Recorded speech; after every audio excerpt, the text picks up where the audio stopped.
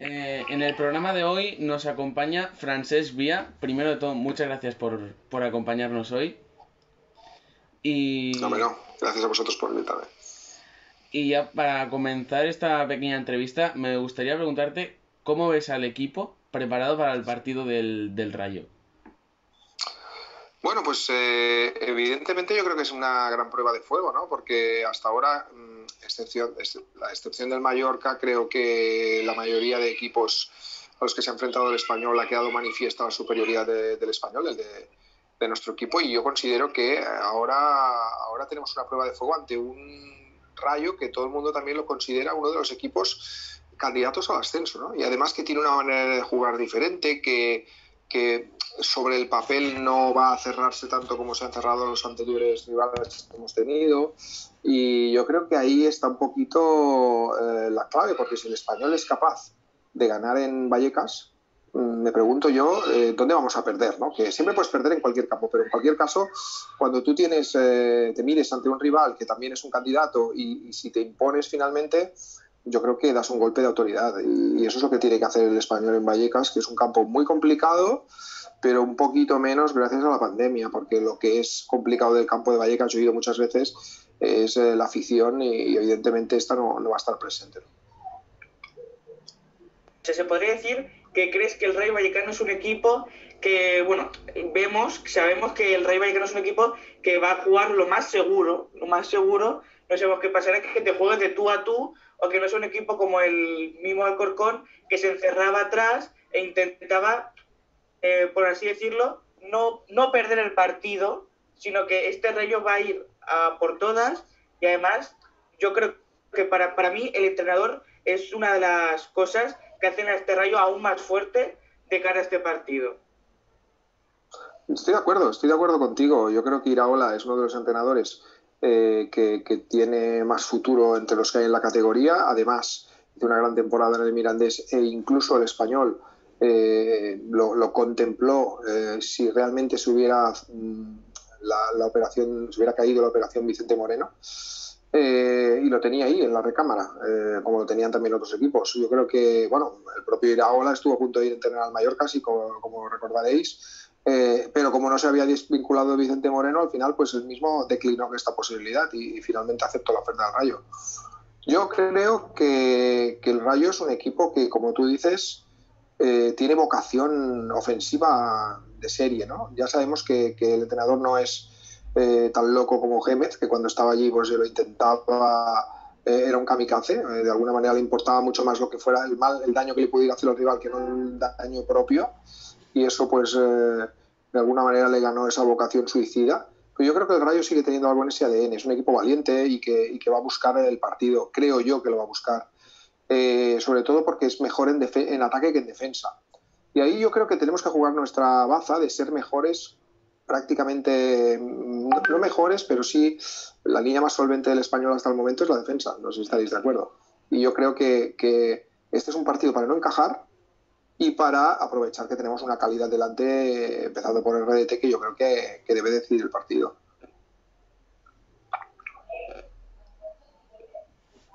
confías en RDT, porque vemos que en, los programas de la, de la radio, durante el mercado de fichajes, no estabas contentos solo con tener a RDT en la delantera, sino que traerías a otro delantero. ¿Crees que RDT, hoy, por hoy, hoy por hoy, no sabemos qué pasará en el mercado de invierno, ¿crees que RDT hoy por hoy puede cumplir en español? Eh, lleva ya un par de partidos demostrando, pero sobre todo a mí me gustó mucho el último, no solo por el gran gol que metió, sino porque le vi con ganas, le vi enchufado y además porque el primer partido después del mercado. hemos escuchado también esta semana sus palabras y, hemos visto que el tío pues tiene ganas de, sobresalir. Mm, como siempre están los objetivos grupales, traer a todos, que sigue siendo un delantero importante. Y, te digo más, eh, no es descabellado que de alguna manera él quiera situarse en las quinielas para poder ser un delantero centro o el delantero centro de España, el de la selección. Aunque nos parezca una locura, porque está en segunda división, al final eh, él quiere destacar mucho en segunda para que le tengan en cuenta que, él es una de las cosas que más le gusta, ser tener relevancia social y mediática. Es un tío un poco peculiar en ese aspecto. Confío solo en él, confío en él ahora actualmente, pero me gustaría que el español tuviera otro 9 y lo sigo pensando. Ahora, ya eso hemos de aparcarlo hasta enero. Igual que la de aparcar su marcha, nosotros hemos de aparcar eh, el hecho de, necesitar a otro. Ya que hablamos de Raúl de Tomás, el otro día la grada de radio estabais haciendo una especie de debate en el que hablabais sobre los capitanes y nombrabais como posible capitán a Raúl de Tomás, que sería una forma de que él se motivase. ¿Tú crees que Raúl de Tomás sería un buen capitán? No el primero, pero sí un tercero o cuarto capitán. Tengo mis dudas, ¿eh? la verdad es que quien, quien apostaba más por esa posibilidad es Gonzalo, Gonzalo Álvarez, que lo conoce personalmente. Eh, y de alguna manera eh, yo tengo más dudas. Yo veo más a Cabrera o a Barba, que creo que van a ser dos de los candidatos para poder eh, continuar, más que a RDT, aunque no me parece mala esa opción de decir, bueno, a ver si el tío se pone las pilas definitivamente, quiere ser el líder, lo quiere ser, porque así lo manifestó él mismo el otro día en rueda de prensa, o sea que me parece que, le podríamos eh, tener en cuenta. Y, yo no creo que lo sea porque no creo que sea, por ejemplo, una persona que se emita el vestuario en el bolsillo o que pueda representar a una voluntad diferente que la propia. Pero, pero bueno, mm, está ahí la posibilidad y, habría que contar con, esa posibilidad. Era, además, además de, David y, de Diego, que yo creo que van a seguir seguros sí o sí siendo los capitanes.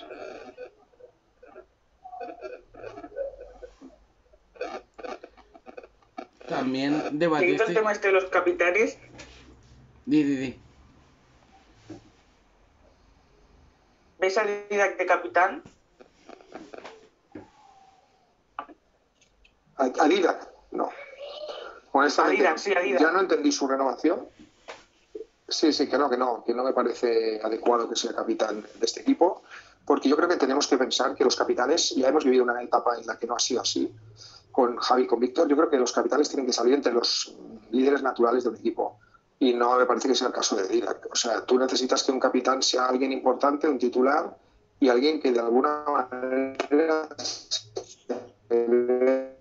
presentado pues las mejores cualidades del vestuario. Y honestamente creo que Didac, y que no se enfade si, si escucha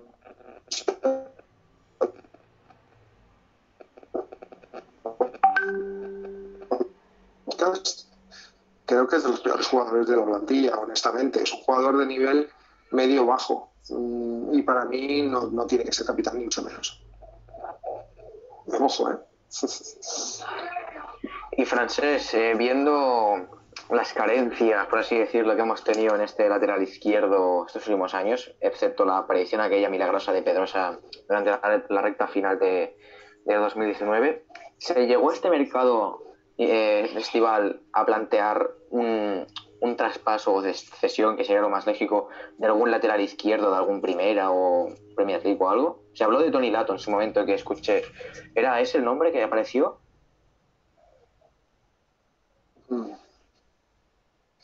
Ha habido varios nombres y varios candidatos eh, y también eh, tenéis que tener en cuenta que al principio del mercado ha habido mucha rumorología, pero, pero durante el mercado se han ido cayendo las opciones porque los jugadores no salían y el Deportiva, eh, pero, pero es que veía, por ejemplo, que no podía colocar a Pedrosa o que ya se había quedado con Lira porque, insisto, para mí uno de las, los grandes errores de la planificación de este año es haber renovado a Lira, yo no, más por dos años. con todos los respetos a Lira, porque yo creo que es un tío que da lo que, tiene y que al final, pues, lleva trayectoria club, pero yo creo que ha dado ya todo lo que podía darnos. Eh, yo creo que el lateral izquierdo es uno de los problemas. Yo, eh, por ejemplo, cuando veo que el Rayo tiene víncula, a mí me gustaría tener laterales así, eh, ofensivos, con, progresión, o otro tipo de Mira, Pilato es uno de ellos también, mucho más joven, por supuesto. Pero yo, yo creo que Pedrosa tiene que crecer este año y demostrar que tiene que algo que, que nos seduce y que, y que yo creo que puede ser que todavía puede consolidarse con un jugador importante del español. Yo el año pasado lo tenía conceptuado como uno de los mejores jugadores del español, al principio del año, una chastrosa.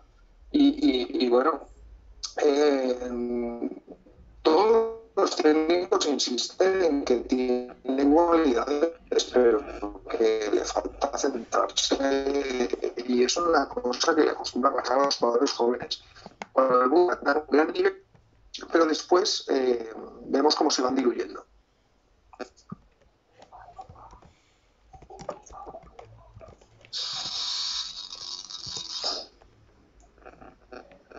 Eh, también. Después de. Habla, habla. Después de estas cinco primeras jornadas, eh, ¿ves eh, qué jugador ves más clave dentro de el esquema de Vicente Eh, Moreno? Bueno, dentro del esquema de Vicente Moreno, eh, yo creo que sobre todo nos ha sorprendido que hizo una temporada pasada bastante mala. Y en este caso, yo creo que está demostrando que está al nivel. Y, yo creo que es importante de alguna manera porque no solamente hemos consolidado un jugador, sino que le hemos repescado teniendo en cuenta que, em, de todas maneras, eh, yo ahora mismo creo que antes, bueno, y otro jugador que, nos ha- que yo creo que es una agradable sorpresa es Fran Mérida, que está contando como fijo para Vicente Moreno. Tanto él como David, pero sobre todo Fran, yo creo que está teniendo un papel muy importante también en la construcción de juego. Pero al final, em, yo creo que lo importante está siendo el grupo y el dibujo, porque todos tenemos muy claro cómo jugamos y, y cómo planteamos los partidos, ¿no? Y eso creo que ayuda mucho a que los jugadores evolucionen y que muestren su mejor versión. Porque el año pasado, por ejemplo, con tanto cambio de técnico y también con las dudas iniciales de Gallego, la verdad es que el equipo no sabía qué atenerse muchas veces. Eh, este que sabemos cómo jugamos. Eh, este mercado de fichajes hemos realizado incorporaciones importantes que muchos vienen para ser titulares. La, la última de ellas fue Álvaro Vadillo, que llegó del, del Celta. Eh, ¿Tu fichaje, o sea, su fichaje te pareció una buena incorporación? ¿O habrías preferido gastar ese último, lo último que teníamos de salario en incorporar a un, a un delantero o un jugador de otra posición? Muy buena pregunta. Muy buena pregunta. La verdad es que yo hubiese preferido un 9, sí. Pero bueno, también es verdad que no teníamos ningún jugador eh, de banda que fuera un extremo puro, ¿no? En ese caso, Vadillo nos aporta cosas, por ejemplo, que no nos da Vargas por esa banda, o que de hecho pues no tenía no tiene un inquilino fijo. Hemos colocado ahí a Puado, hemos colocado ahí a Guley, pero no podemos decir que esa banda hubiese tenido, por los partidos que hemos visto en pretemporada, un inquilino fijo, en la cual cosa me parece adecuado haber fichado a Vadillo, pero yo seguiré echando de menos a 9. A lo mejor, viendo lo que hemos fichado, lo que hubiéramos podido hacer es fichar un lateral menos. No sé si estáis de acuerdo, porque eh, Miguelón hubiera podido ser el titular, Víctor Gómez hubiera podido foguearse y a lo mejor pues eh, Oscar Gil, que yo creo que es un buen tipo, pero que de alguna manera, por el dinero de la ficha de Oscar Gil, más el dinero que costó su cláusula de rescisión, que era medio millón de euros, podrían haber servido para tener nueve. Mm, Yo ahí tengo mis dudas. Es una duda que ta- yo creo Eh, yo tengo mis dudas sobre qué hubiéramos podido hacer sobre el, el lateral diestro, ya que estamos viendo a un eh, Víctor Gómez que está eh, irrumpiendo en el Mirandés. Sí, correcto. Yo estoy. y- eh, no, lo que pasa que también, también eh, eh, hemos de verlo esto un poco en perspectiva. Yo, eh, por ejemplo, y, conocía y, compartía incluso el criterio de la dirección deportiva de que Víctor Gómez estaba verde, y es verdad. Necesita que, necesitaba que viniera un, un lateral, como si dijéramos, mucho más experto y que de alguna manera pues se pudiera afianzarse en el puesto. Eh, y en cambio Víctor Gómez necesitaba a lo mejor también salir y tener menos presión que la que significa jugar en el español y ir a un club donde pueda mostrarse con tranquilidad como es el Mirantes. Es decir, eh, el problema no es lo que va a pasar este año, que en el cual pues eh, el español tiene el lateral muy bien cubierto y además tiene un lateral que, volverá y que, y algún día puede ser un lateral de futuro. El problema es el año que viene, ¿qué haces? Porque estás obligado a comprar a Miguelón y, tienes a Oscar Gil. Y entonces tienes un lateral derecho más que, vas a tener que decir qué haces. Y ahí podemos tener un problema, no un problema, pero a lo mejor se puede buscar una, salida de, Víctor que puede ser muy precipitada teniendo en cuenta que, que pues, un jugador con mucho futuro. A lo mejor una nueva cesión en primera. Bueno, pues quizás sí. También te digo una cosa, es mejor tener buenos jugadores en un puesto que no tener ninguno, ¿no? Con lo cual, bueno, es cierto que esa gestión es un poco una pequeña mancha o duda que me genera todo lo que ha hecho la dirección deportiva, porque yo también creo que podíamos haber reforzado otra parcela antes de haber eh, buscado el cambio de lateral, que lo tenían clarísimo, ¿eh? Porque de hecho en el diario La Grada ya lo publicamos y también en Pericos Online, porque hay una época que todavía no estábamos las con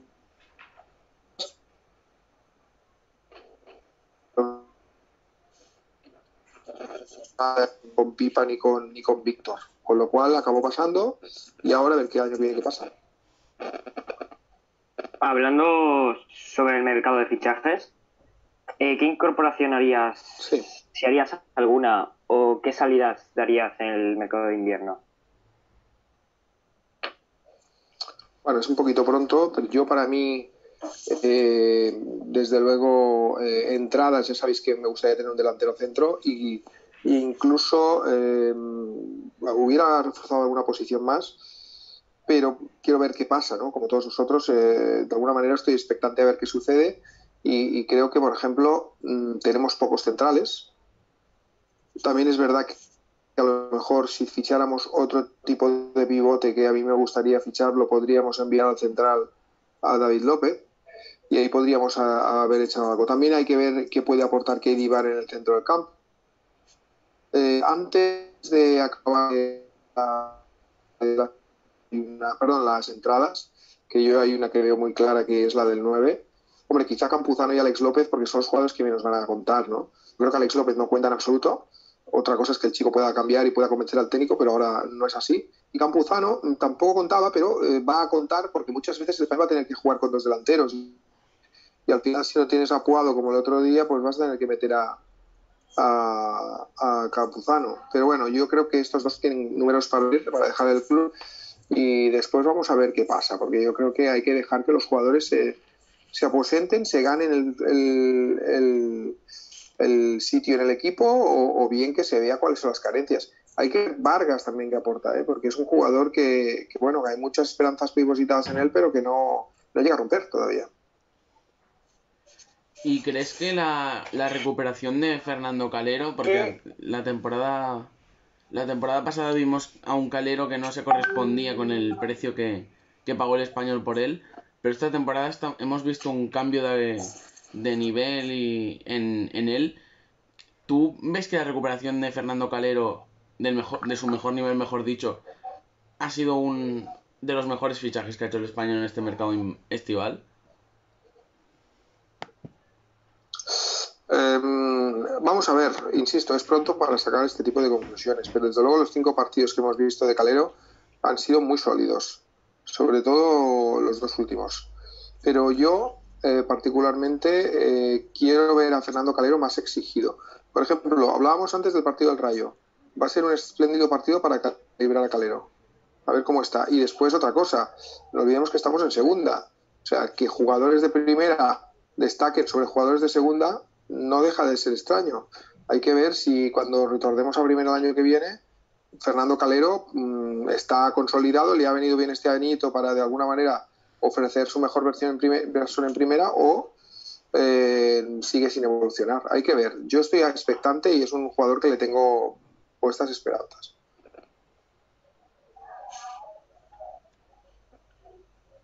un apunte que me, que me gustaría decir sobre el, esa posición de pivote que has dicho que te, que te gustaría reforzar y enviar, y enviar Sí. a David López al puesto central. ¿Quién es ese jugador que quieres en el pivote junto a Fran Merida y eso dice Vicente Moreno?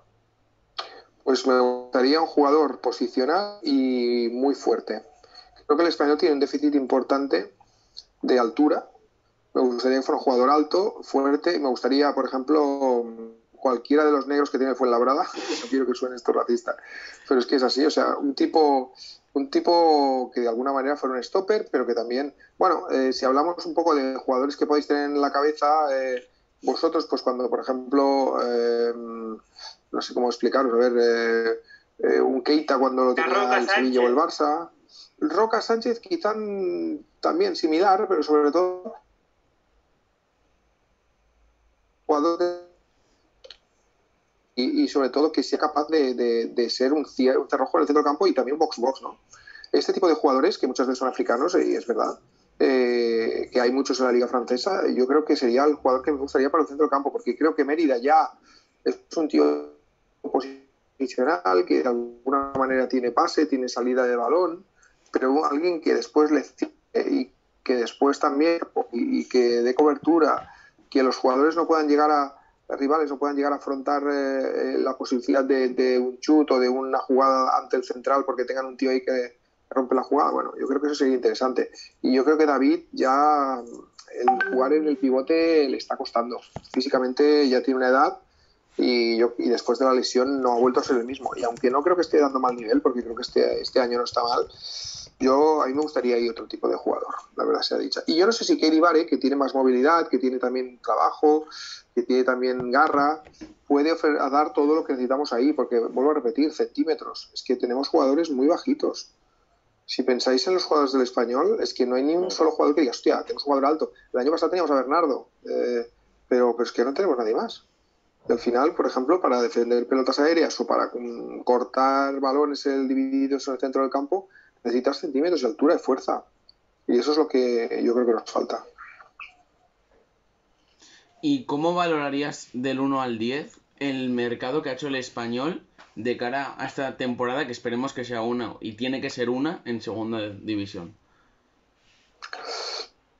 Bueno, mm, del 1 al 10, bueno, entre el 7 y el 8. Yo creo que ha sido un mercado bastante notable, no excelente, pero sí bastante notable porque el español ha conseguido finalmente todos los objetivos que quería, objetivos que quería, casi todos, dejémoslo ahí. El primero de venta, porque quería reducir las nóminas, el- la masa salarial, lo ha conseguido. Quería vender a Marroca y lo ha conseguido. ¿no? que se han escapado o bien hemos llegado. Entonces ahí, ahí hemos quedado un poquito cortos, por ejemplo, sobre todo en efectivo. Y si hubiéramos hecho, o por ejemplo, si hubiéramos sacado alguna de las vacas sagradas, ahí hubiéramos podido hacer algo más. Y ahí tengo un poco de dudas, pero bueno, pueden ser que sean dudas que no lleguen a más, porque RDT haga una temporada excepcional, meta 24 goles como la última vez que estuvo en segunda y, subamos como, vamos, como un cohete, ¿no? Es lo que espero.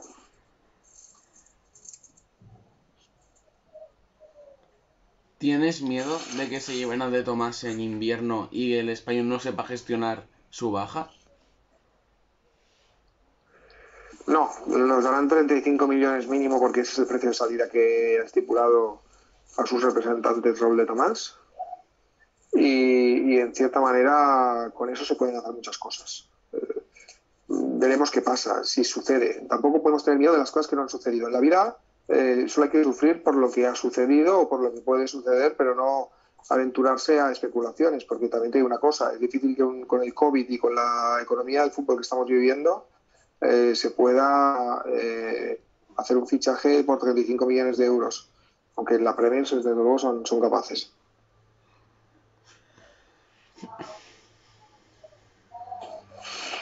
Una pregunta por eso. O queremos que te mojes aquí en Pericos al Día y me gustaría preguntarte sobre en este mercado invernal o, o en general, ¿a quién echarías fuera del español?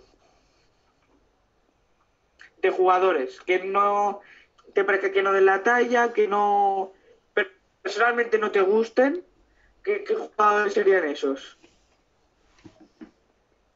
Em, ¿Me escucháis? Sí. ¿Me oís bien? Sí, sí. ¿Hola? Sí.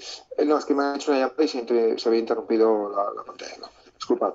Bueno, yo eh, quiero que el español para la temporada siguiente, por ejemplo, o para esta temporada, ¿qué, qué tú me la puedes centrar? ¿Para, esta Para- temporada o para la siguiente? Para, para, la temporada, para esta temporada.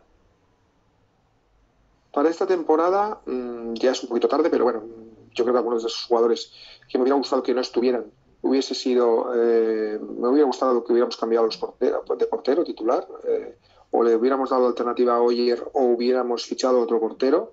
Creo que Diego López está haciendo una buena liga de momento, pero ha cumplido su ciclo en el español. Cobra mucho dinero, a pesar de que ahora cobra menos, porque se lo han reducido. Me gustaría que el español hubiera fichado un lateral izquierdo, mm, porque creo que Didac eh, no da la talla y creo que Pedrosa es una incógnita, como hemos comentado antes. Y me gustaría eh, que de alguna manera se hubiera firmado alguna, un 9 para acompañar a Raúl de Tomás. Y respecto a los jugadores que sobran, hombre, yo si realmente, mm, aparte de Campuzano y Alex López, que, sobre todo los cedería para ver qué pasa con ellos, sobre todo también, eh, tanto como echar no, pero, pero Vargas me, me genera dudas, me genera dudas. Y, y no sé si lo hubiera echado o lo hubiera cedido o intentado monetizar, no lo sé. Pero desde luego me, de- me genera dudas un jugador que, que ha sido incapaz de acabar un partido entero al 100% y a gusto de todos, ¿no? Bueno, esperemos a ver qué pasa este año. Yo, sobre todo, me centraría en el portero y en el lateral izquierdo. Me hubiera gustado que, que hubieran fueran nuevos jugadores. Cambiando un poco. Pregunta, pregunta. A ver. Bueno, eh, a mí, Francés, me gustaría saber eh, qué planes de futuro se tiene con, con Nico Melamed, un- unas de las joyas de la cantera, y si este mercado eh, ha habido alguna oferta de algún equipo por él, ya se ha cedido o traspasado, y pues bueno, tu opinión sobre él y cómo la, la estás viendo con el español. Disculpa, ¿me has preguntado sobre Nico, Nico Lamed? Sí, Si es que se ha cortado un poquito en el momento. Sí, sí hubo una oferta. Bueno, te os explico lo que pasó con Nico de la Met. Con Nico lo que pasó es que eh, los representantes querían llevar a otro club eh, y en- cedido. Y en ese caso el español dijo que no, que no, que cedido no, porque eh, si tenían que cederlo, el español exigía que el jugador renovase. Y no que se quedase. Al principio no querían renovar, querían llevárselo a otro club. Y, claro, eso era muy complejo porque eh, en ese momento tenía una cláusula de rescisión muy baja, de solo 5 millones de euros creo, y, y- y realmente podía haber venido un club y apostar por él. Hubiéramos perdido a unos jugadores de más talento y que yo creo que tienen más futuro en el club. Yo creo que Nico hoy, eh, creo que lo ha dicho eh, justamente nuestro editor ahí en, el- en la Grada Radio, que acabará jugando eh, este año, y yo también lo creo. Es que le veo muchas hechuras de jugador. Eh, el otro día, por ejemplo, el Sabadell, aunque es una acción concreta, pero la definición que hace, que no se pone nervioso y cómo bate por bajo al portero del Sabadell, a mí me demuestra cosas. Yo creo que eh, es un jugador que yo creo que acabará jugando este año eh, y veremos si por izquierda, media punta o dónde, pero que es que puede disputar mucho, o sea, puede aportar muchas cosas. Tiene desborde, tiene gol, eh, tiene descaro. Estoy encantado y creo que mm, hace tiempo que no se veía un jugador con esta pinta saliendo de la cantera y espero que lo protejamos y que le demos opciones. Cambiando un poco el tipo de pregunta, eh, ¿cómo estás viviendo el proyecto de la grada? Ah, bueno, es todo proyecto que empieza eh, se tiene que consolidar, pero eh, además eh, yo creo que, hay un tema y es que aquí se juntan dos cosas. Primero que yo llevaba mucho tiempo en Pericos Online, pues siendo yo el- la persona que de, que, de, que de alguna manera pues tomaba la mayor parte de las decisiones Ahora me toca un rol diferente, eh, formo parte de un proyecto, tengo mi parcela de responsabilidad, mi cuota de poder, para así decirlo, pero eh, no soy el jefe. Entonces eso también te hace cambiar un poco la situación y tienes que también, eh, de alguna manera, adaptarte. Eso por la parte personal. Por la parte de proyecto estamos muy, muy contentos y de, cómo está yendo y de, y de, la, de la acogida que está teniendo. Creo que estamos también en crecimiento tenemos eh, muchas escuchas, muchas visualizaciones y también eh, sabemos que tenemos la web más potente que ahora mismo en el, en el, en el panorama blanquiazul, porque también es la heredera de, Pericos Online, que ya lo era. Yo creo que estamos en el camino de, hacer una cosa que es un sueño, que es consolidar un medio de blanquiazul importante, fuerte y que de alguna manera mm, pueda también ser de referencia y, eso sin, sin, menospreciar a nadie, es decir, si todo el mundo eh, hace su trabajo y con lo mejor que puede, hay gente que lleva muchos años, como Javier de Aro, eh, hay otras webs que, también de alguna tienen su importancia y sus visitas, pero bueno, eh, nosotros tenemos un sueño que es hacer un gran medio del español para que, por ejemplo, chavales como vosotros que estáis a lo mejor aficionados al periodismo y si algún día sois periodistas, tengáis un sitio donde podáis venir a trabajar. O... Eh, cambiando un poquito de tema, la vuelta a los estadios sí. llegó a estar hace unos meses que parecía estar un poco cerca, pero ahora está bastante lejos, mm. por lo que parece. Aproximadamente, ¿tú crees que en esta temporada podremos ir a algún partido? Sí, no, vamos a ver, yo creo que sí que podremos, lo que pasa que no inmediatamente. Eh, os voy a explicar, esta semana hablé con una persona que tengo de contacto en la liga, les pregunté cómo estaba este tema, de hecho sacamos una información en la grada, en la online eh, explicando que eh, la liga lo tiene todo preparado, todos los clubes lo tienen todo preparado, para el día que les digan ok, pues poder hacerlo. Es decir, si les dijera al español para el miércoles, que es el próximo partido que tiene, podría hacer perfectamente todo el operativo, que no es fácil, para eh, poder eh, permitir la entrada de público. ¿Cuál es el problema? Pues que ahora mismo no hay un criterio claro y no es un criterio que dependa de los técnicos, sino de los políticos. Eh, la Liga de Fútbol Profesional, su primera y segunda división, y la ACB son las únicas ligas que están regidas por el Consejo Superior de Deportes y este a su vez tiene que consultar al Ministerio de Salud, de Sanidad, y, entonces, claro, em, en, cambio vemos que, por ejemplo, este fin de semana se va a abrir la Dani Harkin y van a entrar 230 personas. No hay un criterio claro. Entonces, eh, yo creo que ellos mismos, desde la liga, manejan las fechas de enero y febrero para que entre la gente y es más. Hay clubes que lo necesitan y lo están pidiendo, porque de alguna manera quieren tener algún tipo de ingreso, si no ya de ticketing, eh, sino al menos de venta de productos. O sea que lo necesitan. Y yo creo que enero, febrero, desde luego, se tiene que abrir. Es lo que esperamos todos.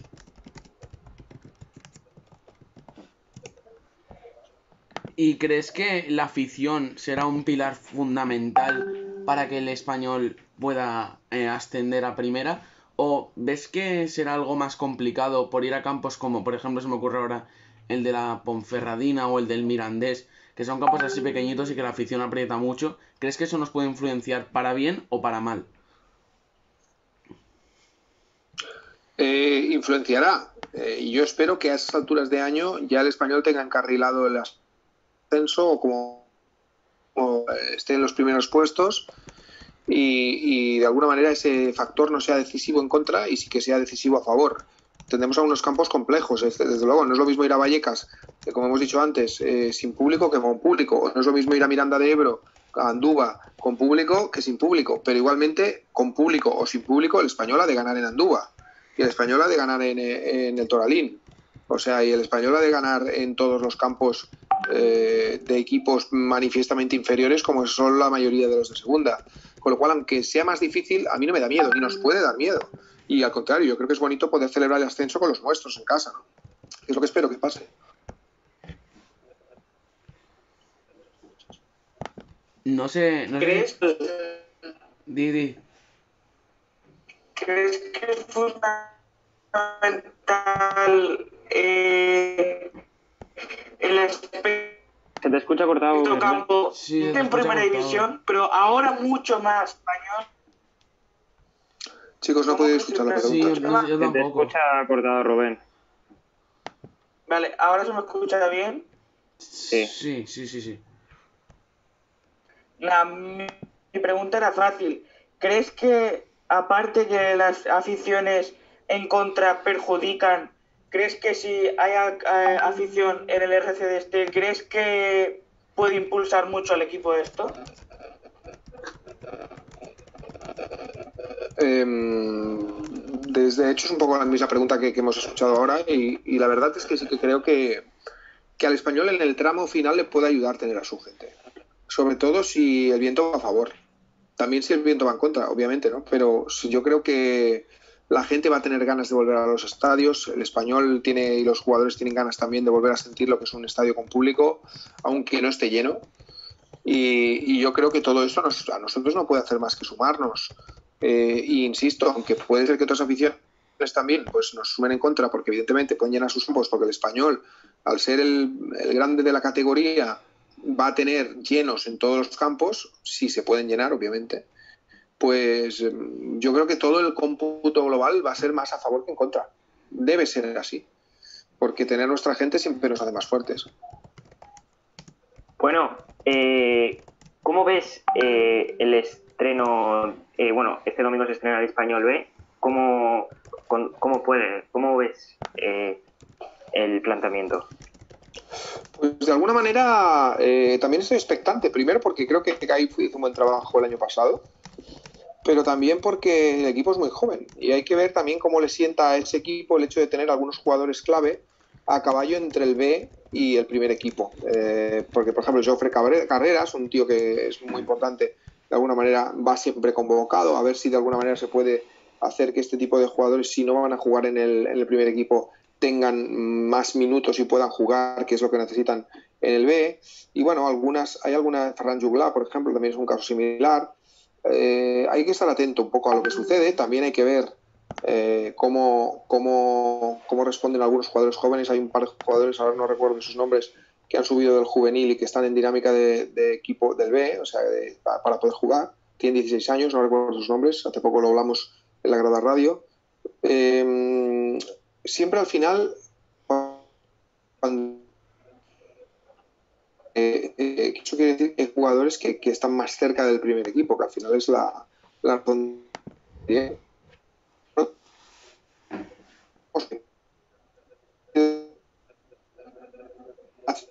Porque nadie quiere perder la categoría. Todo el mundo entiende que hay que tener un filial en segunda B. Y, y ahí veremos. Veremos cómo lo campea también esto Guy, que es un tío que, que el año pasado estuvo muy bien. Ah, no sé si tenéis alguna, alguna pregunta más que hacerle a Francesc. Bueno, simplemente darle las gracias. Sí, yo lo mismo. Sí, la verdad es que sí. Ha sido un placer, la verdad. Sí. Siempre verte la- Gracias a vosotros y además, sí. Yo desde, desde antes te escuchaba menos, pero desde que escuché la, nar- la narración del gol Uy, ahora no, no partido sé, contra no la os escucho sociedad, pues que yo desde que escuché la Disculpad. narración ¿Me escucháis bien vosotros? Eh, sí, pero Francesc no. Yo, yo no. Ahora, ahora repito si es tan amable, perdona. Que yo desde que escuché tu narración con Joan Camí del gol de la, bueno, del español contra la sociedad, ahí desde ahí ya no me pierdo nada, ninguno. Piel de gallina ese vídeo. bastante, bastante bien.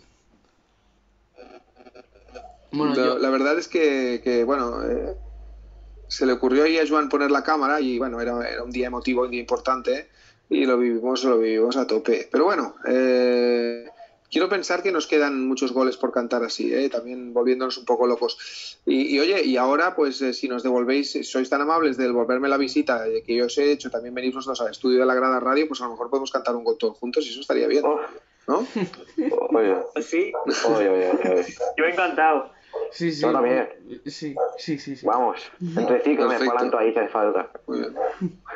Bueno, lo dicho, que muchísimas gracias, Francesc, por, por venir con nosotros al programa de hoy. Es un honor para, para nosotros tenerte. Gracias. Hombre, el honor es mutuo. Si yo soy uno, uno más como vosotros, lo que pasa es que un poco más viejo. Vosotros tenéis 15 y yo 51, simplemente. Es la única Bueno, al revés, entre vosotros y yo. El orden de los números. claro. Exacto, exacto. Es el, orden, el orden de los números es la única diferencia. Bueno, pues lo dicho, hasta aquí la entrevista a Francesc. eh, un- ha sido un placer y esperamos que os haya gustado tanto como a nosotros hacerla.